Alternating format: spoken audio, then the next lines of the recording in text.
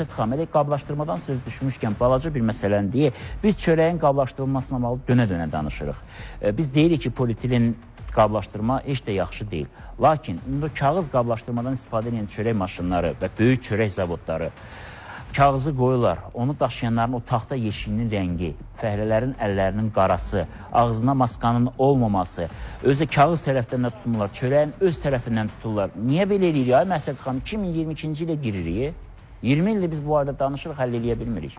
Eynilə mən də razıyam sözünüzlə ki, dəfələrlə bu haqda danışsaq da, işıqlandırsaq da hələ də düzəlmir və eynilə də həmin kükürtləməni, istehsal prosesində gedən digər prosesləri o qədər məsumcasına anladılar ki, eynilə də yəni ki, e, polietilen e, torbalarda satılması keçən dəfə çörək zavodundan əməkdaş da gəlmişdi. Onunla birlikdə də müzakirə elədik.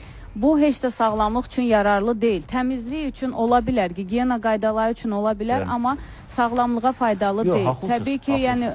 yəni Amma mütləq Məsəd xanım, bir məsələ meydana çıxacaq. Bizim bu verilişə baxan tamaşaçılarımız da deyəcək ki, ya sizi başa düşmədik. Qablaşdırır bir vay, qablaşdırmır bir vay. Düzgün şəkildə qablaşdırılmalıdır. Düzgün şəkildə. Bəli, bəli. günahı? İstehlakçının günahı odur ki, xüsusən Azərbaycan istehlakçılarının, həm də biz onu deyək ki, Azərbaycan istehlakçıları dünyanın ən çox çörək istehlak edən bir e, istehlakçısıdır. Dünyada birinci yerdə durur. Azərbaycan istehlakçılarının böyük günahı, böyük səhvi